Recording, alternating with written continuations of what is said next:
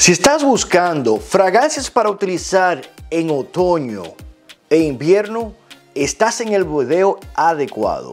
Saludos perfumados, yo soy Cristian con un perfume más y les traigo 15 fragancias que son las mejores para utilizar en otoño. Otoño es una temporada de transición. Hay días que están más calientes que otros, así que pueden empezar un día fresco, luego caliente en la tarde y en la noche frío. Y hoy les traigo una lista de fragancias combinadas. Como saben, me gustan hacer mi top que tengan unas fragancias de bajo costo, que tengan algunas fragancias comerciales y tenga fragancias nichos, así que tienen una combinación de todas. Por eso les traigo 15 en total. Eh, la primera fragancia que les traigo es un nuevo lanzamiento de este año. Y estoy hablando de Aqua de Gio Parfum. Este es un aroma que me encantó. Para mí uno de los Aqua de Gio que más me gustaba era el profumo. Y el profumo es ese que tiene esas notas de pachulí pronunciadas, con ese eh, ADN que todos conocemos de Aqua de Gio. Esta es Aqua de Gio profumo de una manera más aromática y fresca. Donde tiene notas marinas en su apertura, tiene limón, tiene lavanda, tiene salvia y luego tiene ese ADN en su secado de Aqua de Gio. Es una fragancia excelente porque otoño es una de esas temporadas de transición. Creo que esta la puedes utilizar cuando está un poco eh, fresco en las noches, pero también yo diría una fragancia firma para otoño excelente. Eh, la siguiente que les traigo es también un nuevo lanzamiento de este año. Estoy hablando de Tonka Cola de Mancer. Esta es una que estoy loco por hacer una reseña. Esta es una fragancia que tiene eh, cereza, tiene canela, eh, tiene notas amaderadas, tiene nuez moscada, pachulí. Pero lo que más les percibo es, esa vibra Coca-Cola, esa, esa vibra especiada con la canela, de esos tonos de otoño. Tiene ese olor otoñal que creo que hasta el color te deja saber cuándo la tienes que usar. Lo que me gusta de ese aroma que es que aunque es especiada y tiene esas notas de cereza, en su secado es una, una fragancia que tiene su abatonca, la vainilla. Estos son unos aromas que yo creo que la puedes utilizar para citas, eh, para eventos especiales, porque aunque es dulce, no es muy dulce, es sumamente especiada y amaderada para utilizarla en ocasiones eh, especiales y tiene sus tonos florales también. Eh, la siguiente fragancia que les traigo es Givenchy Gentleman Society. Esta es una fragancia también excelente para transición. Yo vería esta más para utilizar, yo diría que en las mañanas, para trabajar en las mañanas, o entre las mañanas y las tardes, yo diría.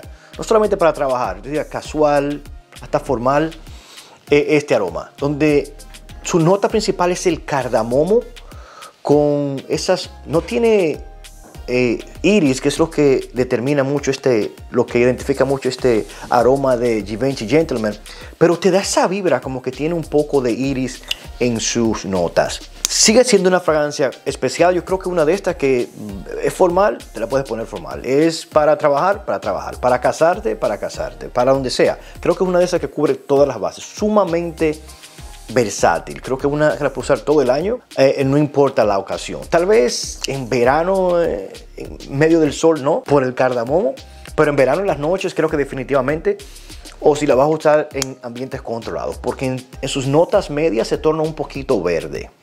Muy buena. También le hice una reseña, las pueden buscar en mi canal. La siguiente que les traigo es Rehab de Inicio. Dios, esta a mí es una fragancia que me encanta. Que esta es una de esas que si tuviese que hacer un video de fragancias que no voy a dejar de recomendar, esta sería una de ellas. A mí me encanta este aroma porque tiene ese ADN amaderado, un toquecito especiado, pareciese como que estuviese tabaco, pero más las hojas del tabaco. Y luego en su secado es una fragancia que tiene un almizcle pronunciado, cremoso, sexy. Muchos dicen que se parece mucho a Spice Bomb, la O de Twilight tienen algunas similitudes, pero definitivamente esta tiene un almizcle más pronunciado. Son dos fragancias completamente diferentes. Si te gusta una, te va a gustar la otra. Pero esto dura 10 horas en piel. Para mí vale la pena. Eh, la siguiente que les traigo es otra fragancia de transición y es Allure Homme Oyster de Chanel. Esta es una fragancia, como dije, sumamente versátil. Es fresca, aromática, dulce, sexy, elegante, limpia. Esto es un camaleón. Esto te la puedes poner en cualquier ocasión para con cualquier tipo de ropa. Eh, duración ya no dura lo que solía durar. Mi piel dura 6, 7 horas. Pero para mí, por lo que hace, lo hace muy bien. La siguiente que les traigo es Yves Saint Laurent Y o de Parfum Intense. Esta es la Y más diferente a la de NY. Esta es mucho más aromática que las demás. Tiene una salvia más pronunciada, tiene una lavanda más pronunciada, es más herbal, un pachulí más pronunciado. En su secado es que comienzas a percibirle más el ADNY. Es mucho menos dulce. Esto es más para, yo diría, las personas que comenzaron a usar el, ese ADNY, que ya han subido en edad y que ya no les gustan esas fragancias tan dulces, pero todavía quieren un toquecito del ADN, esta sería. También sumamente versátil. Esta la puedo usar todo el año. Para mí, de las más versátil, la más versátil tal vez de la línea Y. La siguiente que les traigo es Issei Miyake L'Odyssey Pro Home Intense. Este es un aroma que si te gusta Aqua de Gio Profumo o si te gusta esta, la Aqua de Gio Parfum, te va a gustar esta. La tengo más elevada por el precio. Tienen yo creo que calidades similares o esta tiene mejor calidad yo diría en los cítricos, pero esta para mí me gusta más por su precio. Esta es una fragancia que cuando la, aplicas tiene ese cítrico pronunciado de yuzu, que el yuzu tiene una cualidad que se torna como un cítrico más atartado o más agrio, con un cítrico en el fondo, tal vez un toquecito dulce, luego le percibes el incienso. Y eso es lo que la hace similar. El pachulí no es tan pronunciado, pero sí contiene pachulí, vetiver y maderas. Este es un aroma increíble de Issei Miyake. Creo que está una de esas fragancias undervaloradas que deberíamos comprar más. Esto es un aroma que vale como 35, 40 dólares y, vale mucho la pena. tiene mucho en el mercado. Eh, la siguiente que les traigo es Find Your Flames de Nishane. Este es un aroma que sus notas principales el coco, el ron, el tabaco, la batonca y maderas en su secado. Un aroma súper encantador, súper exquisito. Una fragancia que es dulce con ese tono tropical del coco. Tiene el tabaco, pero un tabaco más como las hojas del tabaco con maderas, lo que le da masculinidad, porque muchas veces el coco se puede tornar un toque hasta femenino. Es otoñal, pero mi opinión la puedes utilizar todo el año por esos tonos dulces de coco tropicales. Creo que en las noches, en cualquier ocasión. Esto es una fragancia nocturna, yo diría. Ya sea elegante para cualquier ocasión. Esto es, si te gustan fragancias como Naxos, estás buscando algo menos fresco que Naxos y tal vez un toquecito más dulce, esta te va a gustar. No que son similares, pero le va a gustar al mismo público. La siguiente que les traigo es una de las creo que las que he usado, la segunda que más he usado en, este, en esta lista y la he comprado varias veces. Y esto es Whisper in the Library de la línea réplica. Este es un aroma que hasta lo voy a atomizar. Miren cuánto yo he usado de este aroma. Esto viene de 120 ml. Este es una fragancia que tiene, es una fragancia sumamente lineal. Esto es maderas dulces. Se torna hasta a veces pareciese como si tuviese un poco de licor o ambarada. Y eso es lo que percibes. La diferencia es que la fragancia mientras más se va secando, mm, las notas cambian. El dulce se hace un poco más pronunciado, las maderas bajan. Una fragancia sumamente sencilla, pero sumamente sexy. Esto es una fragancia que yo lo utilizaba para utilizar para trabajar en las mañanas y en las tardes, en el frío. Y mire cuánto lo he utilizado. Esto es exquisito. Sumamente sencilla. Si estás buscando una fragancia sencilla, eh, refinada, que no vaya a proyectar mucho para que no intoxique en, otoño para ambientes cerrados, esta es. Es una fragancia excelente, excelente, excelente. Eh, la siguiente fragancia que les traigo es Versace Eau Noir. No quería poner Tom Ford Wood Wood, Sé que mucha gente va a decir, esto está descontinuado, Cristian, todavía la puedes conseguir. Y si la puedes conseguir, cómpratela. ¿eh? Yo tengo dos botellas de esta. Y esta me gusta porque tiene ese ADN de, de Wood pero esta es mucho más especiada eh, porque tiene pimienta negra, poco más, yo diría, floral. Y tiene ese ADN de, de Wood. La diferencia es que Wood es poco más limpia que esta. Yo creo que esta es más oscura y tiene mejor duración. Una fragancia que también, como fragancia firma para primavera, para otoño, es excelente.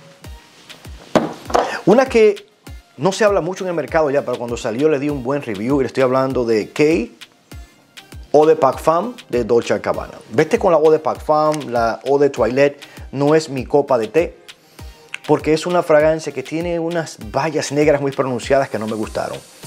En esta, esta lo que tiene es el ADN de, la original, pero con esas notas, esas vallas negras mucho más reducidas. Es aromática, tiene licoriz que le da esos tonos especiados y hasta se percibiría un poco alicorada. Eh, luego con tonos dulces, eh, frutales porque tiene higo, tiene sus tonos verdes también gracias al higo y se percibe un poco fresca y terrenal.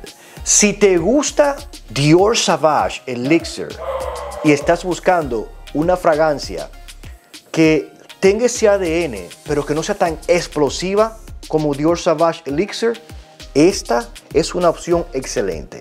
Tiene ese licoriz pronunciado que te va a recordar a Dior Sauvage, pero es mucho más fresca y no tiene esa lavanda tan explosiva que tiene Dior Sauvage. Me encanta y el precio completamente excelente el precio. Eh, la siguiente fragancia que les traigo es Ludo de Sarah Baker. Una fragancia de oud fresca. Esto tiene, es un dulce, es amaderado, toques fresca, con vainilla, oud, ambarada, un, un toquecito eh, atalcado. Esto es sumamente rico. Esto es una fragancia que sí tiene ese tono de oud que se percibe un tono, solamente un tono fecal, pero muy poco, que te va a gustar. Esto tiene notas como chocolate, ámbar, vainilla. Tiene dos tipos de oud. Tiene creo que cereza en también.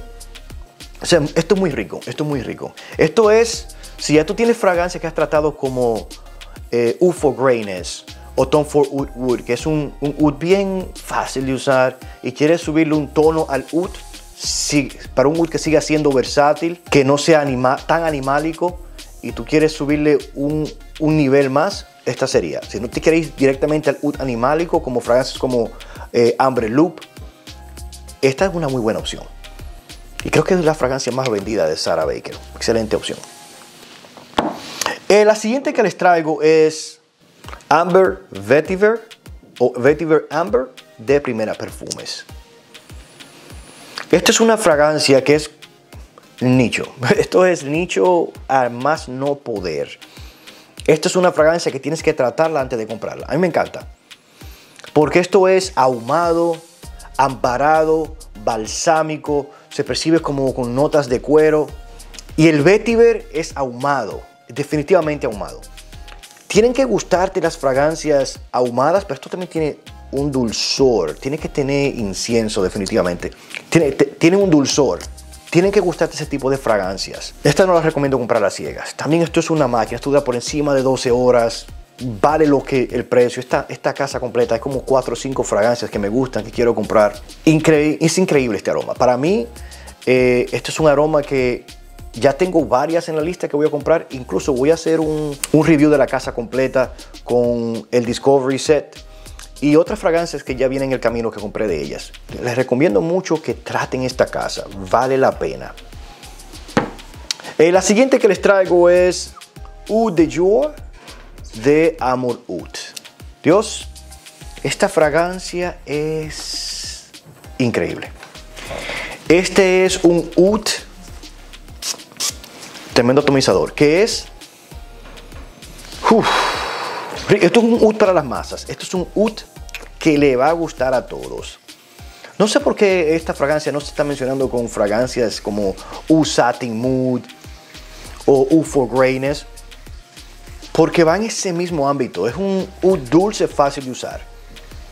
Tal vez lo que tiene este es que es un oud más, no es un oud, digamos, animálico, tampoco medicinal o fecal, pero sí tiene su dulce, su ámbar, sus especies, sus flores y hasta un toque ahumado. Esto cuando tú tratas precio-calidad, excelente.